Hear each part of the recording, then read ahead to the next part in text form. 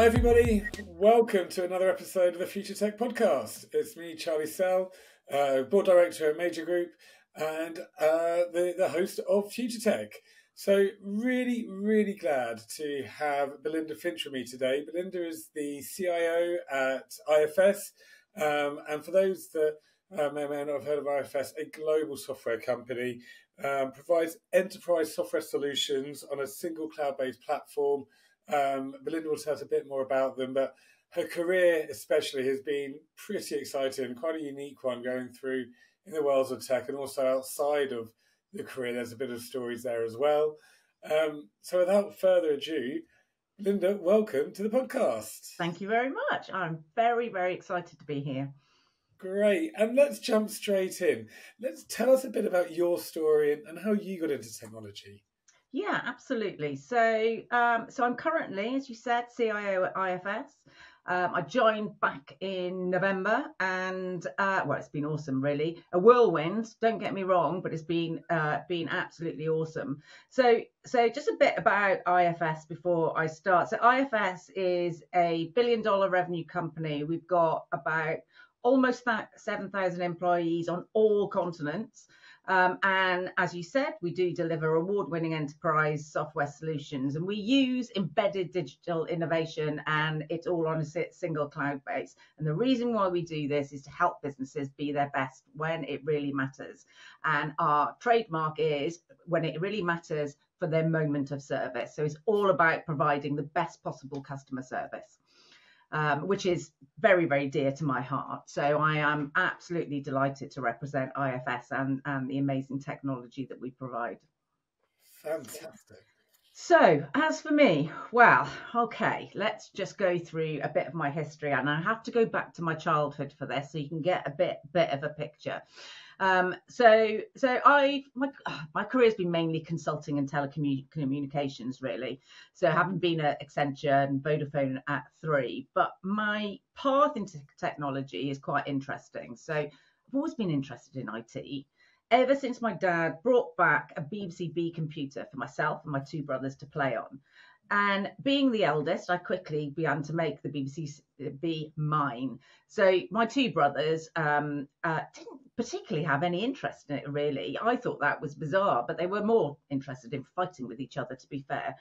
Um, and I began playing games on it, very basic games, as you can imagine. Used to take about six or eight minutes to load to load up. Um, and uh, so I started playing a game. I started playing this adventure game, um, and uh, it was it was quite basic because if you if you um, uh, failed at a particular level, you went right back to the beginning. There was no saving saving anything.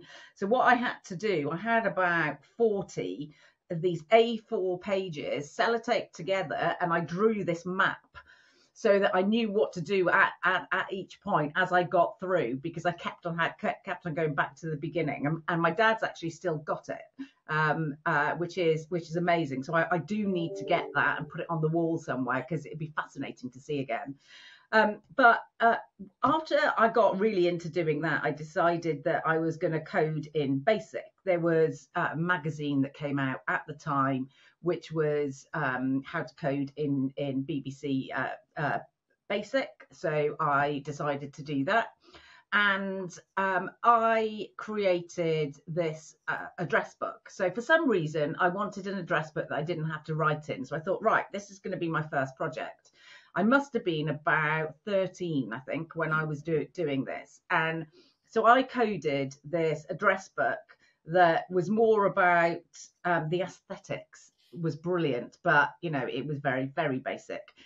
But when you went into the address book, I had this rocket that went up the screen really slowly because everything was slow um, in, in those days. It went up and I, I coded it so that it would um, sing Strawberry Fields Forever in this very kind of monotone um, uh, way but uh, and I think it was quite easy to code, which is why I chose Strawberry Fields Forever.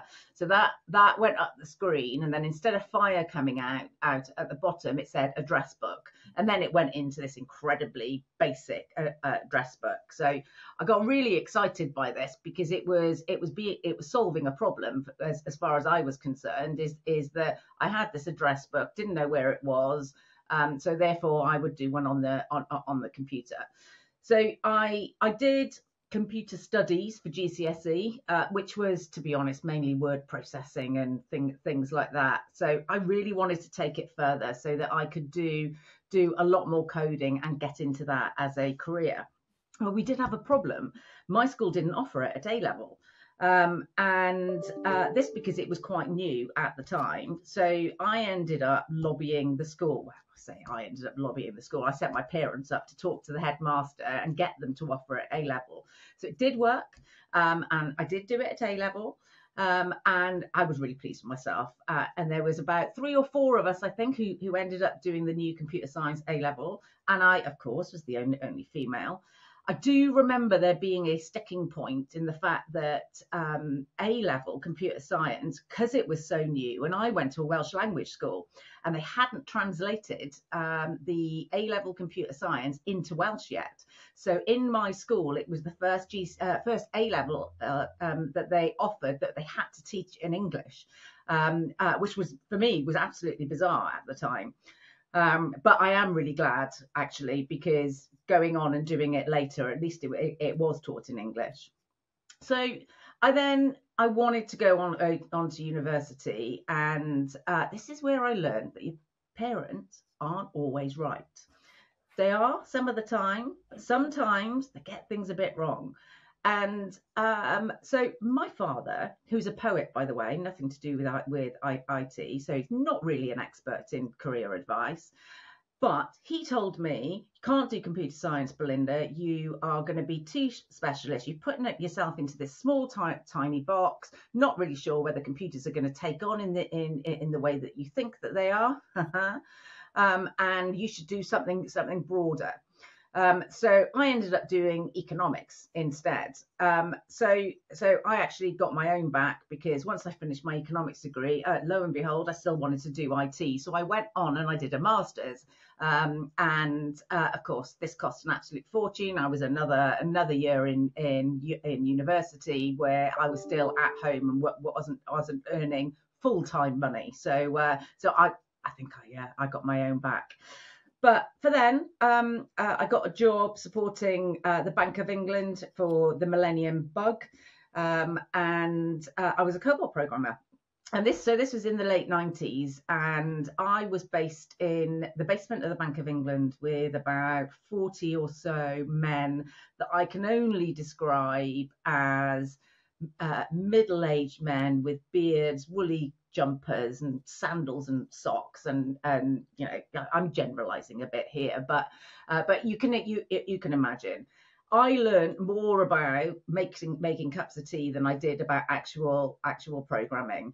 I I was I was the only girl and I was very much the assistant. I was very much the person who went off and uh, and made tea and did the photocopying and all, all all of that stuff.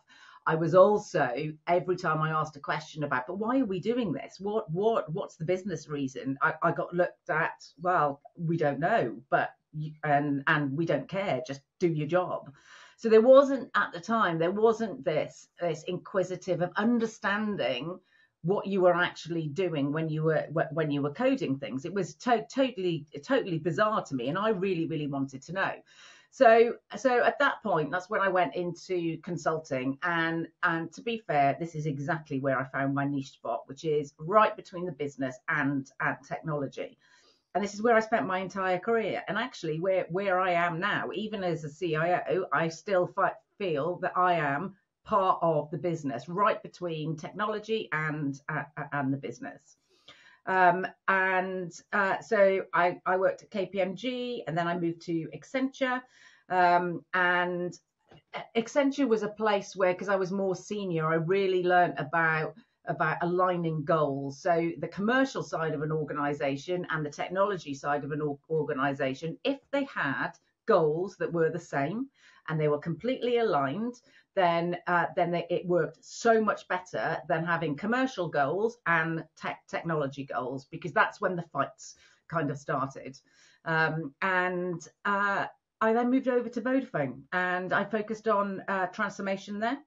And again, right between the business and and uh, technology, I managed large transformation programs, had a massive technical element, but also a big business and people change element as well, culture change, and and that that is I'm very passionate about, and something that is so important that somebody in IT needs to un, uh, understand. And uh, my last role at Three was pretty much the same. So I was a CIO, did did the transformation again, big culture change there, moving moving into the the digital era.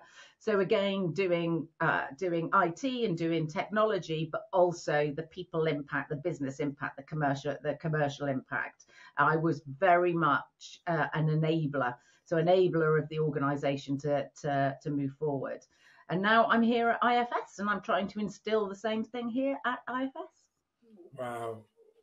And, and what a journey. And, and, you know, thank you for that openness at the beginning where, you know, from that inquisitive mindset, you, you had to really work yourself into yeah. technology, didn't you? It wasn't yeah. just an easy, direct path. And, and it sounds like, as you said, the first role, although gave you an exposure to it, wasn't the right role. And no. so you, you had the but you were brave enough to then keep pushing the envelope and saying, well, what do I want to do? And, and moved into consulting.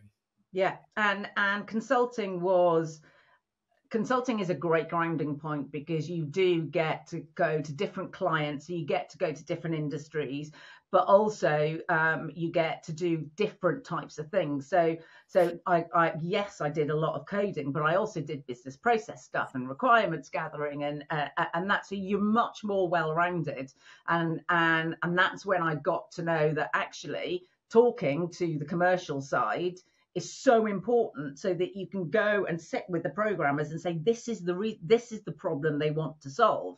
And then the the technical uh, team would go yeah but uh, if only they change the requirement to this. And then i'd go right well i'll go back and ask them and uh, and that's how that's how it used to be yeah. but now a cio has to be both so the it department you've got to be able to do that because you can't you can't there's not technology and the and and the commercial side it's it, it's it's all the same thing as far yeah. as i'm concerned because technology runs everything it doesn't matter yeah. what business you are yeah totally totally agree with you on that one and so, moving the conversation on, and, and a, a, topic when we first met that we were both super passionate about was how we promote STEM um, at that school level. Like you said, when you had to physically go and create an A level or get the A level into your school, and you're now at that same crossroads with your own child, looking at GCSEs and where you know what what schools have to offer talk to me a bit more about how you feel, you know, STEM is being promoted at a young age and what we should be doing more as, as a society, I guess. Yeah, so uh, so I've I've realised this fairly recently. Actually, I've I've always been involved in uh, di- diversity. Um, I'm the exec sponsor at IFS. I was the exec sponsor at Three,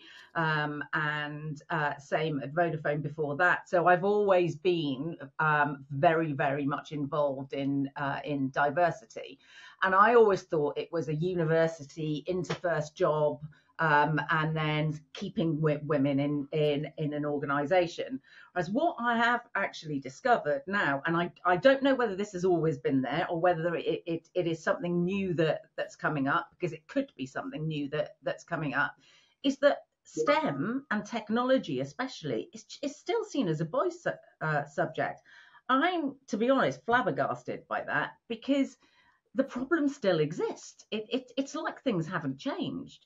So my daughter, who is 13, um, is uh, and she's done it now. So she's cho- chosen all of her, her GCSEs, and uh, one one of the topics of conversation um, was, "Are you going to do technology?"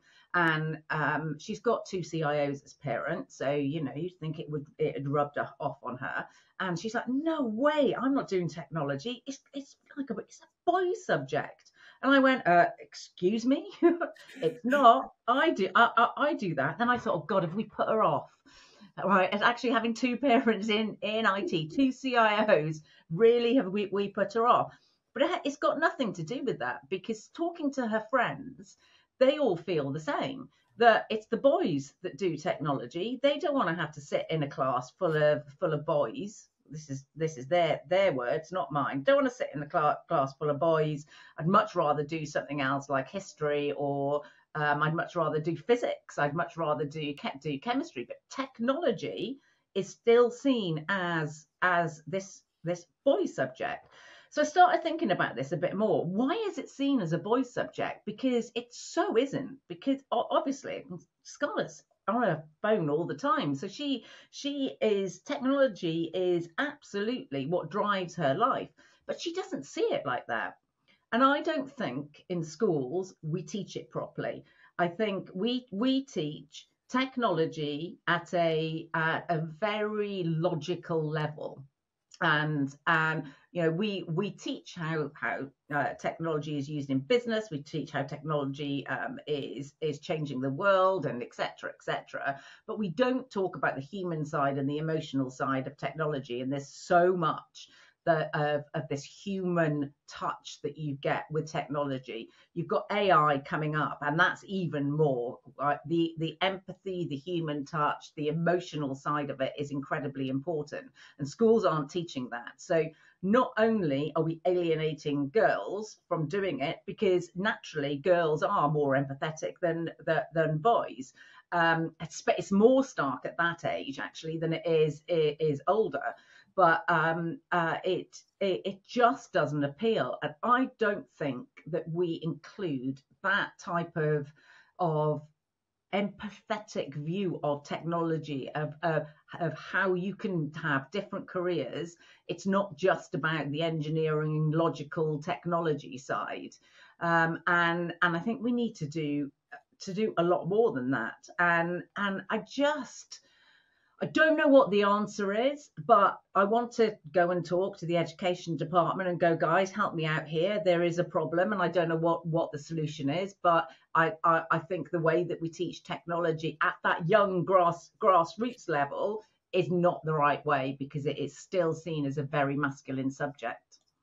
Yeah, and, and mean, it's so good that you're giving a voice, and and and we have this platform to be able to really talk about this because it's it's one of the big things that the STEM Ambassador Association that, that supports this podcast is equally passionate about is, is, trying to work with schools and colleges and and and I think you've summarised it brilliantly. It's, it's understanding that technology that there is an empathetic there's there's multiple careers within that that area because again when we look at STEM and it, it covers science and maths um, as well as engineering, so people do choose physics or biology or or maths. It's but the challenge is you can't have the technology part just a stereotypical boys subject or no.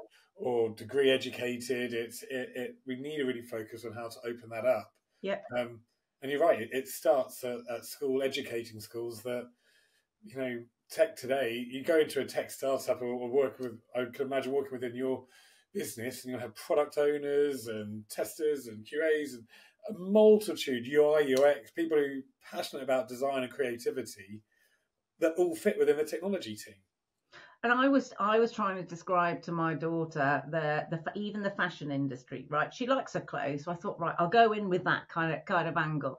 Even in the fashion industry, there's new and amazing things that that, that they're doing, and and 3D printing clothes is is another thing that you download something at home and you 3D print your own your own skirt or whatever it is that that, that you want.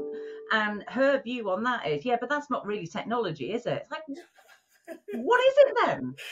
And that's what schools don't really make these these girls understand that that is technology and and therefore it is is you've got to have a basic understanding of of technology in order to work in a world world like like that so mm-hmm. so it it is very very vast yeah yeah I, yeah and again I totally agree with you and I know you're also quite keen to just touch on also because it's it's not just about the entry levels into technology, but returning to work as well and the, the barriers there. So, what have you seen there, and what, what can we be doing better to support that part? Yeah, so this is something I've always pushed, and I think there is still a huge issue that you get that we, we just need to get to the bottom of it. So if we look at the stats, about 50% of women never return to work. So you can imagine the huge skill loss that you're getting, the enormous impact on the biz on your actual individual business and the overall economy. And the main reason that research has shown that they can see about this is women go off and have children, and by the time they want to return to work, the world has moved on so fast because it does now. Things change in in months rather than years now, and they don't have the confidence to go back to work.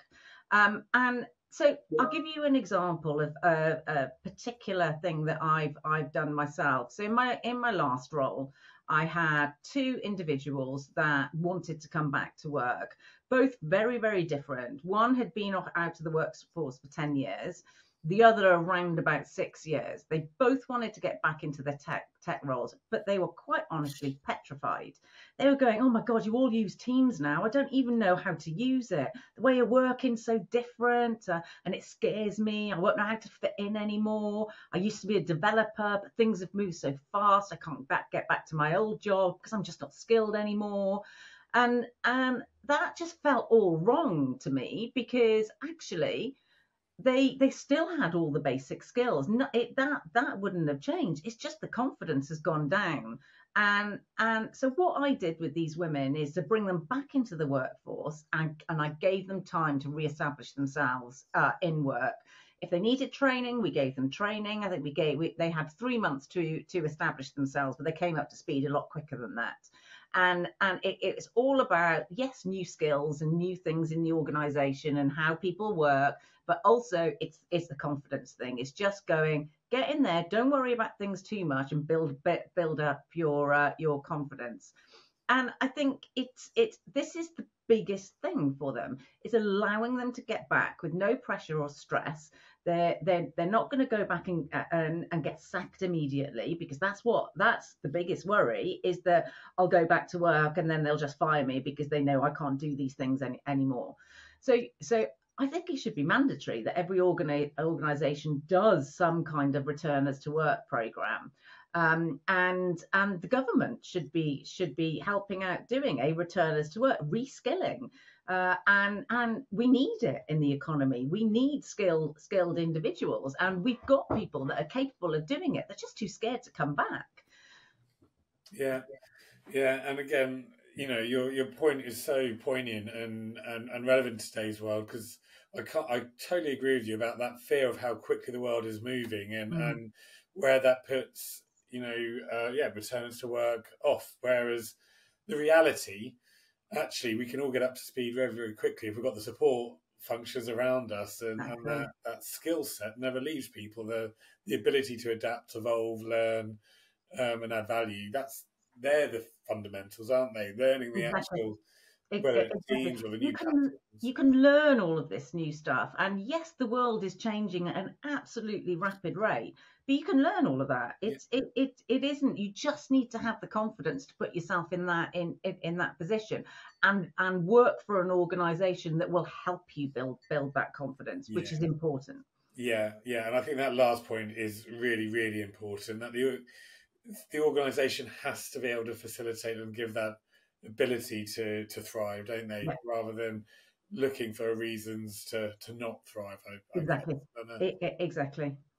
And so, moving on to the last part of the podcast, career advice, and, and, it sounds like you know, although a few years away from your daughter, but but still in that mindset of um, how to, you know, those first jobbers, and for many of our listeners who are, you know, um, at that stage, what what one or two bits of advice would you give to our listeners about how to really stand out or get that foot in the door? So um, I think there's two things that I've learned over the years that I wish I'd I'd known right at the beginning. And the first the first one is don't be afraid to be yourself. You it it's okay to not be like all all the men in the department. It's okay to actually be you, be authentic you. The authentic me has got myself further than uh, than the me that I was when I started my career, where I used to try and mimic mimic others.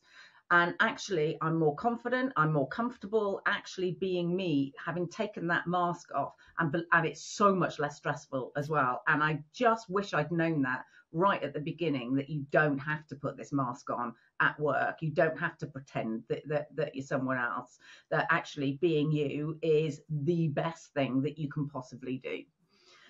Um, and I think the other thing that I really wish that I had been told is having a varied career is great. Experience loads of different things before settling down. Uh, you don't need to work out what you want to do straight away. And when someone asks you, what do you want to be in five years' time? God, I used to hate having to answer that question because I, I used to get really worried thinking, uh, I don't really have an answer to this. I just want to enjoy my job and be fulfilled and do the job that I, that, that I can do. I've never really had a plan. And you're always forced to say, where do you see yourself in five years' time, Belinda? And the right answer uh, isn't, oh God, do you know what? I don't know. I haven't got, got any plans. But the fact is, you don't have to have plans. You don't. I mean, having a happy, fulfilled career is absolutely what you should should be doing. And and I think that times have changed so much that even 10 years ago, I would never in a million years have said, do you know what? I would have been a been a CIO because a CIO 10 years ago was highly technical, very, very isolated, very much on its silo.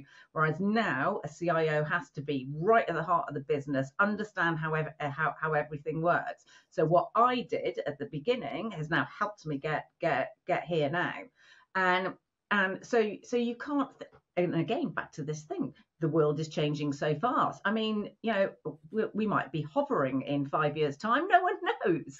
So, so having that varied variety in your career and doing something and finding something that you really, really enjoy is absolutely great. Don't have a plan. Don't set yourself up for failure and have this flat this plan that if you don't meet one of your your own milestones um, then therefore oh you're a failure because you've decided that that you're a failure. Don't do that to yourself. Be be open and and enjoy your career.